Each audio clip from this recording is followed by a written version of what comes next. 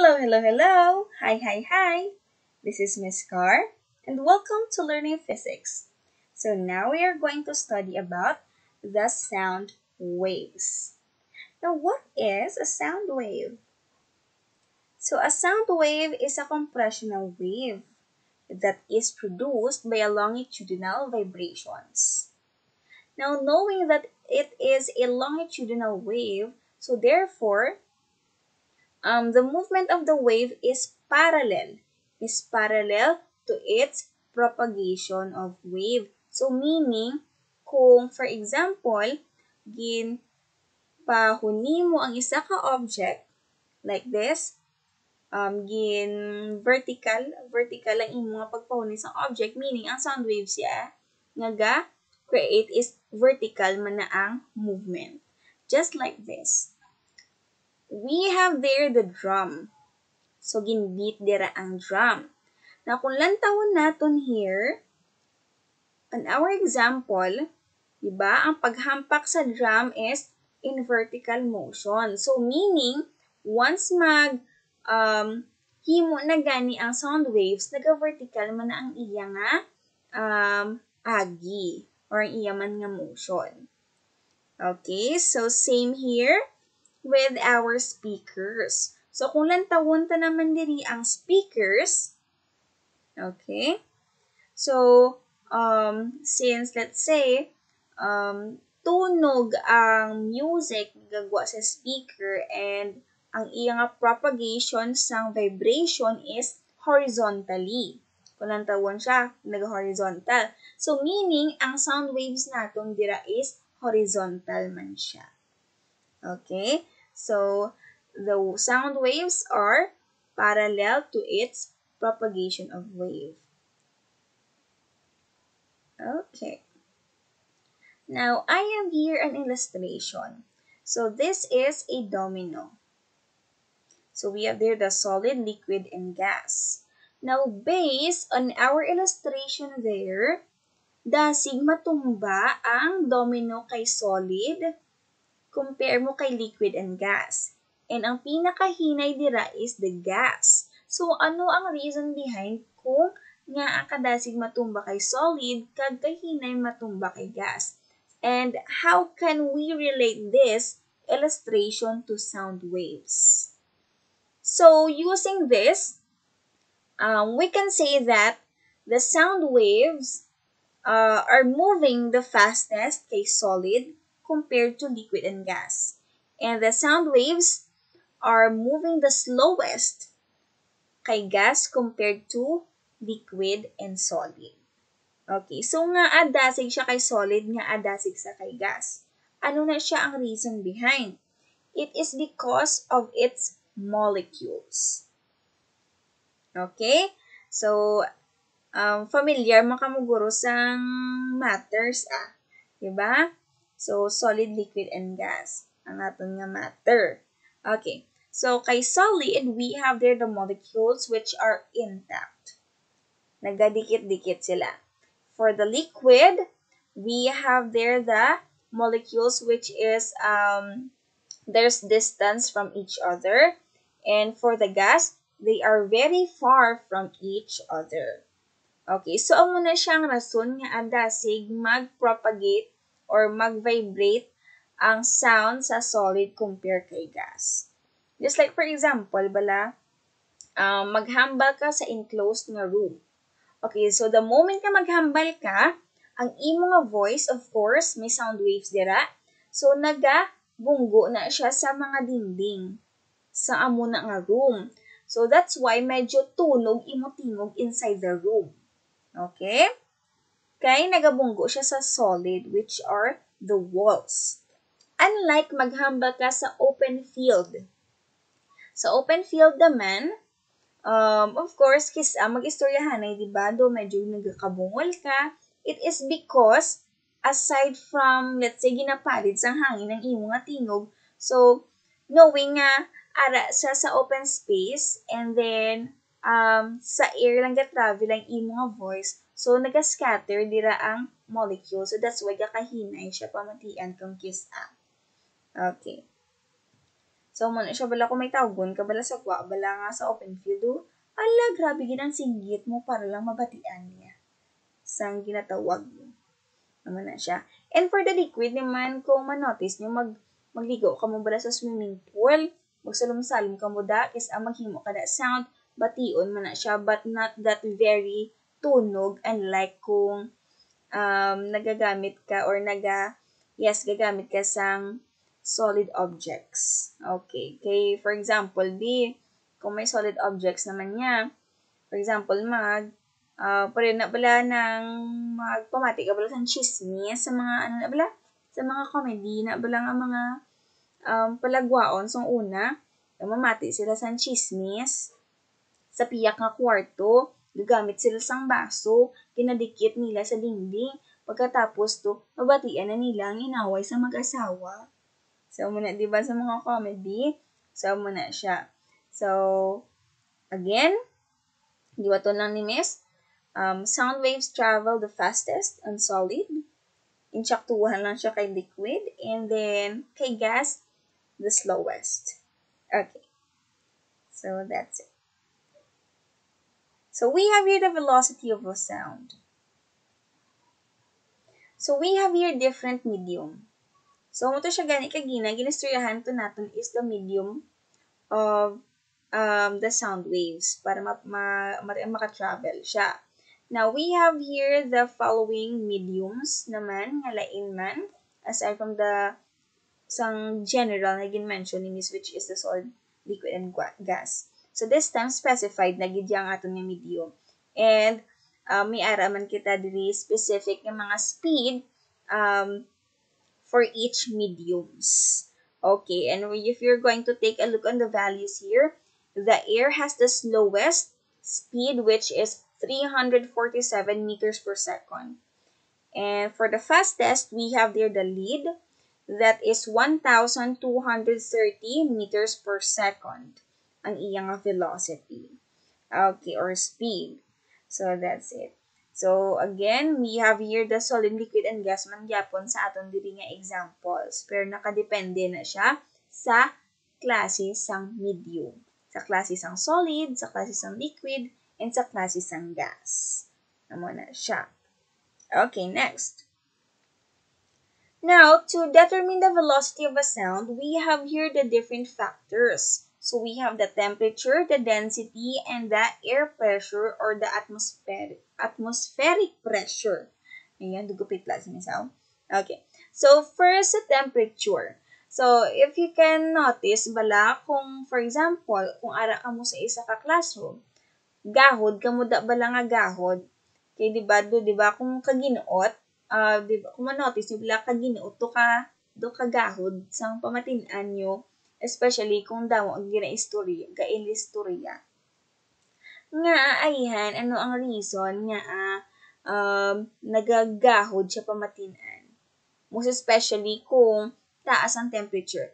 It is because if nagataas ang temperature gani sa imo environment, mi, environment meaning ang molecules, ang molecules dasig man ang movement. So, amo na siya ang reason. For example, these are the molecules Kay tungod init siya, nagadasig ang movement ya. So, kung magahod ka mo da, dasig man mag-propagate ang sound.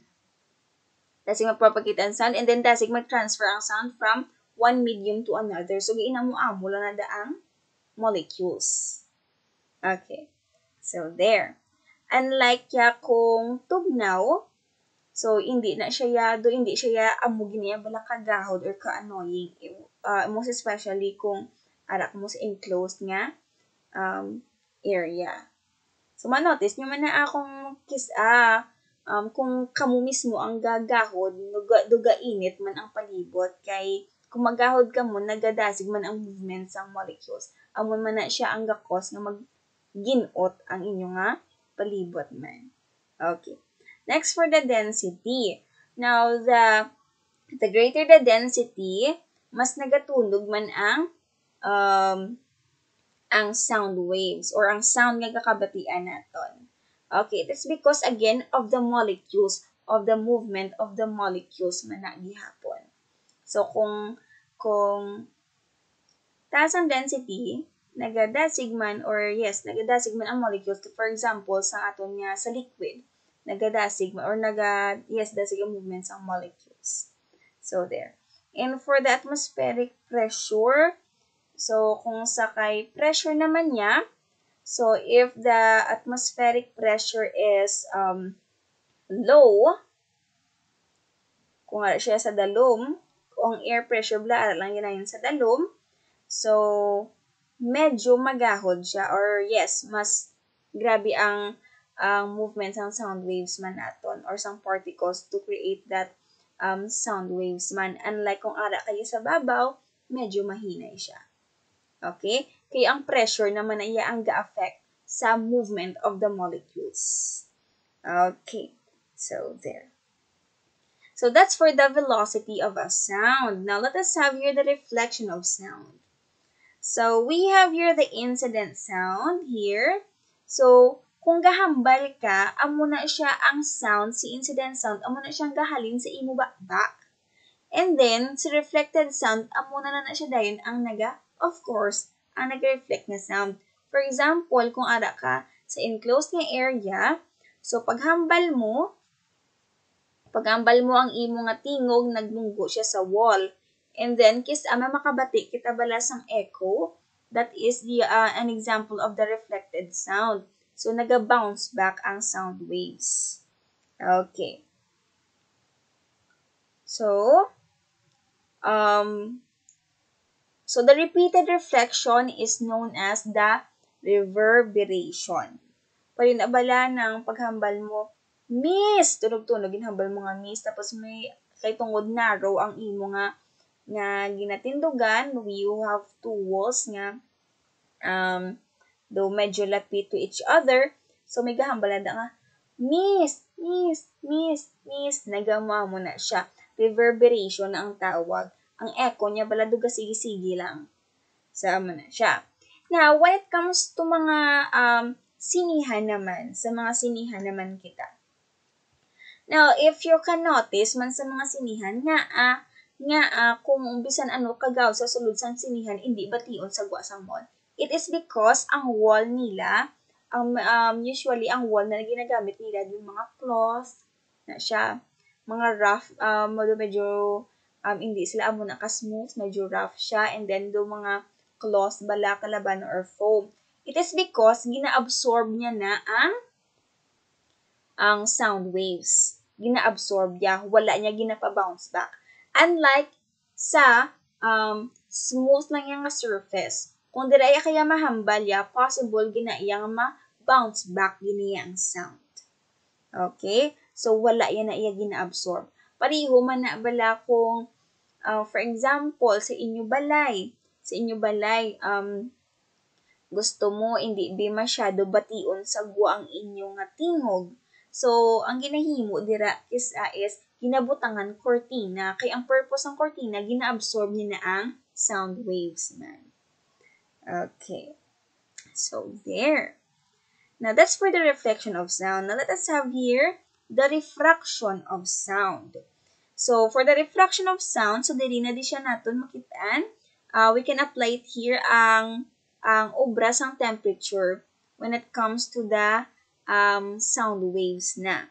So, for example, kung aga, so dasig mag-travel, dasig mag-travel ang sound waves because kainit, kaginuot. ba? So, kay taas ang temperature niya, so, ang movements ng molecules, as what I've said, is very dasig man. That's why, ang sound waves naton nga mabatian is that um, nagadasig man. And kung gabi, syempre kung gabi, nagabugnaw man. So, medyo kulukalma ang molecules sa aton palibot. So, amo na siya. Okay, so here. So, here another one is for the refraction of sound. So, um, by the way, do, do ano ni siya, do sa light wave ni siya. But then, for the refraction of sound naman, do pariho lang ni siya gyapon. Okay? Um, kung sa air, slow siya. Slow siya ang iyang movement sa sound waves.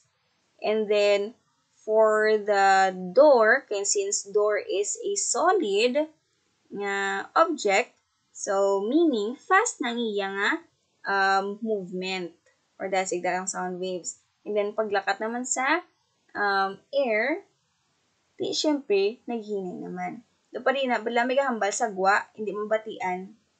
Hindi mo siya mabatian dayon. Pero idikit lang ang danunggan bala sa pertahan, di mo mabatian, ginahambal niya. So, amo na siyang siling sa atong diri nga illustration. Okay. Next, we have here the characteristics of sound.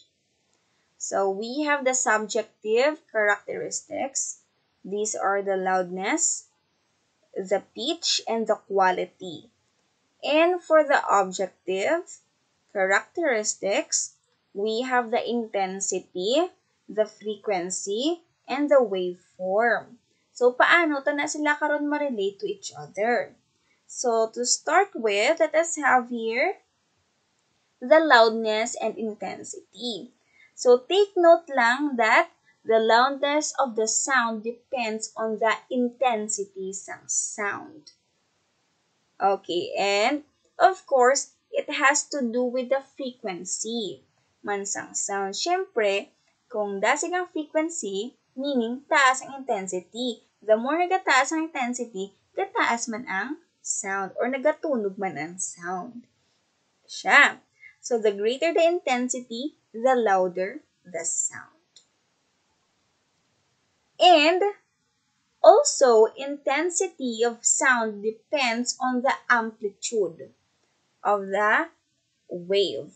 Now, kung, kung matandaan nyo, so si frequency, di ba si frequency, kung pila kabilog ang ang cycles ng wave nga makomplete in a second. So, kung dasig ang frequency, syempre, taas man si intensity. And also, it has to do with the amplitude. So, kung nubula na siya karon ng amplitude, hindi mo na siya gyapon ang muna kataas ang sound. So kung taas si amplitude, meaning nagataas gida ang intensity sa aton nga sound waves.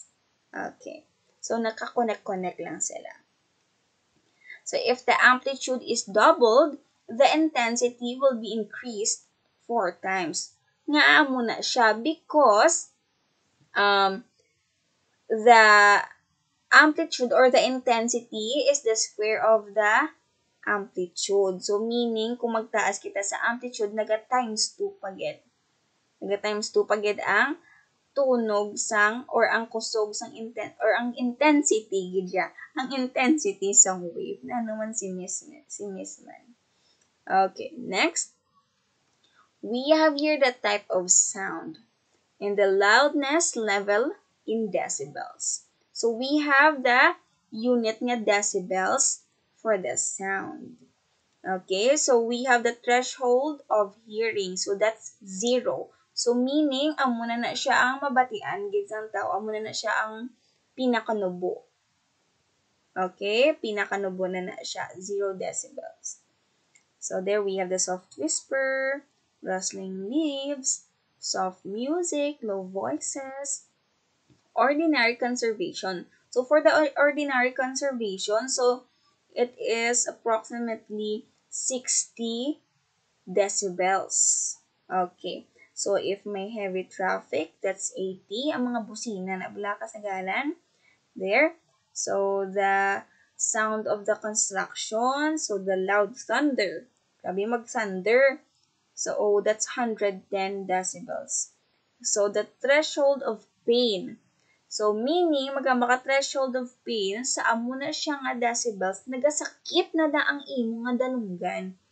Okay? Kumbaga, bala, do na na ang imo nga dalunggan, nasakitan na na ang imo nga eardrum. Ang eardrum mo gid.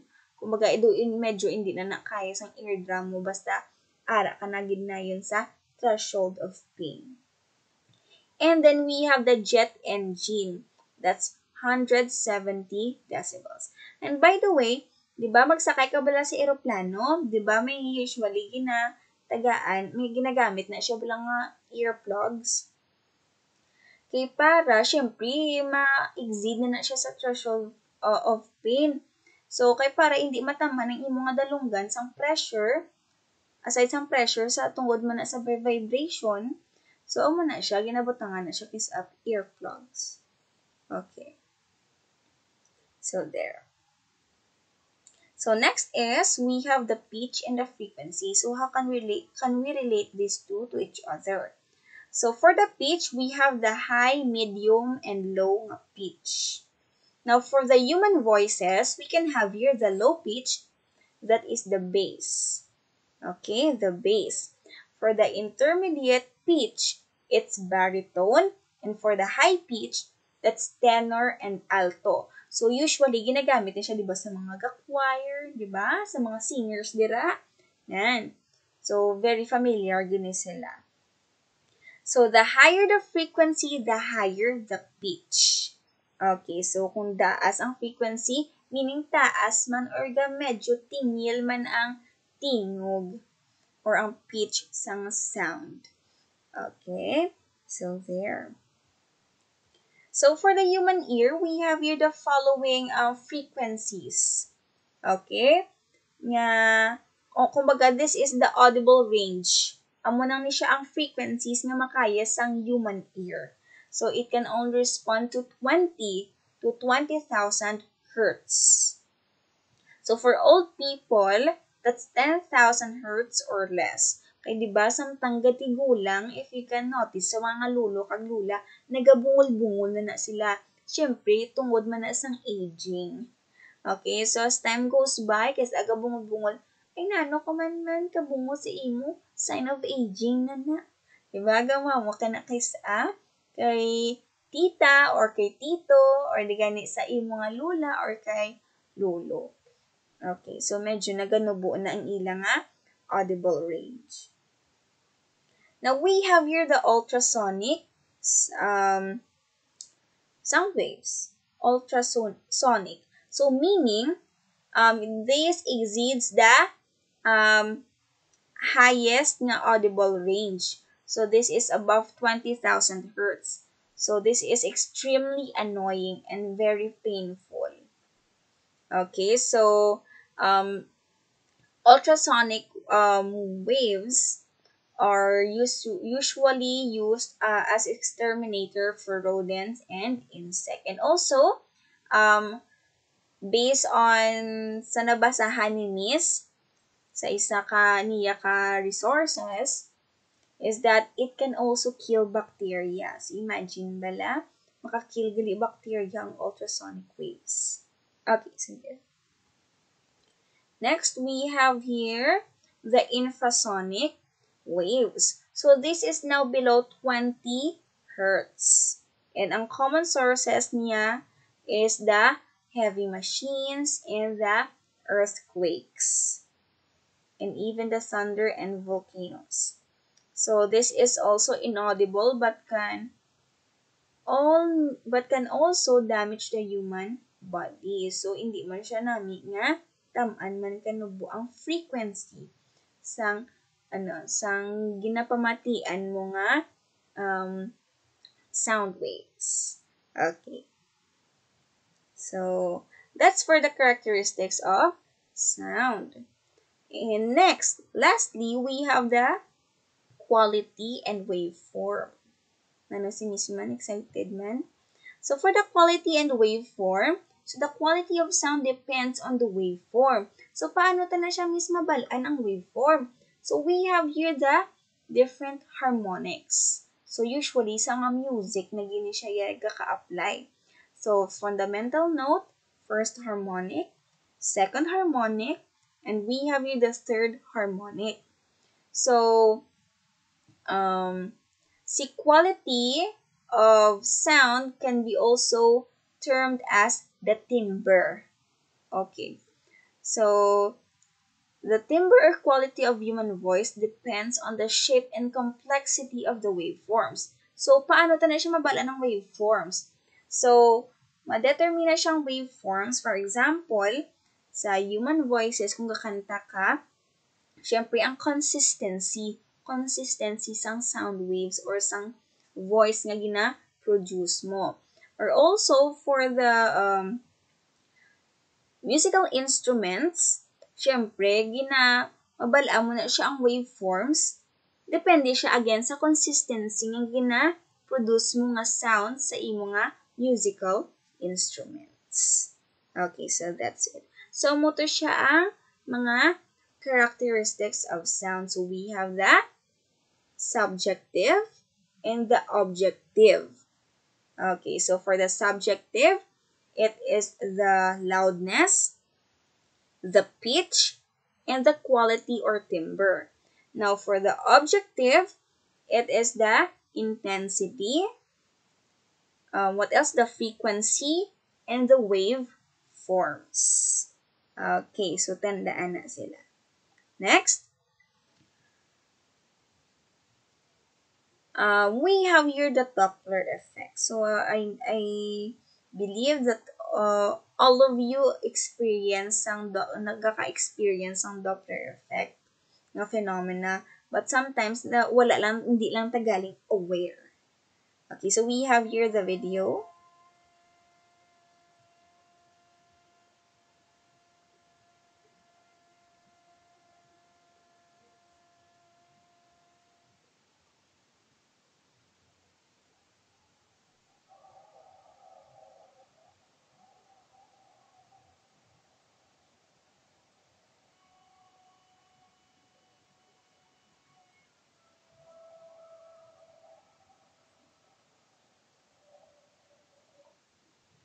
Okay.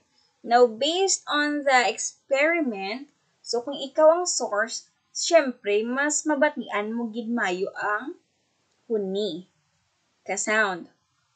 Unlike sa kung ikaw lang ang gapamati or ikaw ang observer. So, uh, so samtang na layo pa ang car, medyo hinay. So, samtang nag-approach siya sa imo, nagamat-amat siya tunog until such time na maglabay na siya sa imo, mapalayo siya again, So, gamat-amat naman fade ang sound. So, pariyo na bala, mabala mo na siyang um, um, lapit lang sa inyo ang sunog kay samtang sa layo pa, do may nabatian ka nga wangwang sang ina bala ka fire truck. Now, samtang ka papalapit, ay hala, tunog, ang gatunog, how? So, ara lang gali lapit sa inyo ang sunog. So, bisan sa amula na siya kasimple, Doppler effect na na siya gali. Okay? Hindi lang kita aware, pero may Doppler effect na gali sa aton nga palibot. Okay. So, this is an example man sa Doppler effect. So, ang ang bla ang bilog ni nga orange. So, that is the source. Okay, so that's the source.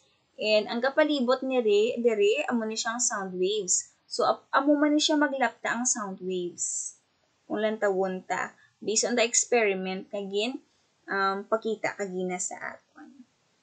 Okay, so um, we have there the frequency and the um, wavelength of the waves. Okay. Now for the Doppler effect, so the change in frequency is due to the relative motion of the wave source and the observer. So, kung, for example, kung ara kalapit sa source, so meaning there is a small nga wavelength kag high ang frequency. So, mo to siya gani kagina, di ba, sa characteristics of the sound. So, the higher the frequency, mas gataas ang pitch sang sound. So, meaning, nagatunog siya. Nagatunog siya, nagaloud man siya. Tama na siyang tandaan. Now, So, samtang um, taas ang iya frequency, meaning, nagalipot man na ang iyang wavelength. So, muna siya nga gakabatian tagid ang sound. Most especially, if lapit ka sa source of the sound. Unlike if layo ka. Kung layo ka naman sa source of sound, meaning, ano na siya, naganubo na siya ang frequency sang um, sound waves nga ga kadto sa imo. Kay since nubo ang frequency, sang sound waves nga ka um, gagakabaton mo meaning long man na siya ang wavelength sang um, sound wave. So therefore we can say that the wavelength and the frequency is inversely proportional to each other. Kay kung gataas sa wavelength, nagalaba ang or nagadako ang value ni wavelength, naganubo ang value ni frequency. Okay? And then kung naganubo gani ang wavelength, nagataas si frequency. So here it is. We have here the table to show you kung ano ang relationship ni wavelength and ni frequency. So we have here the source. This is closer to the observer. So as what I've said kagina, ang imong wavelength kung close observer, that's shorter. And then you have a high frequency. And then kung away ka from the observer, ah sorry, um, yes, away from the observer, gali ang source, check. So, longer ang wavelength and then um, lower the frequency. So, they are inversely proportional to each other. Okay. So, that's all for our sound waves. So, I hope that in this video, in this recorded lecture, you were able to um, learn something, most especially uh, when it comes to sound waves. So thank you so much for listening and have a great day. Bye.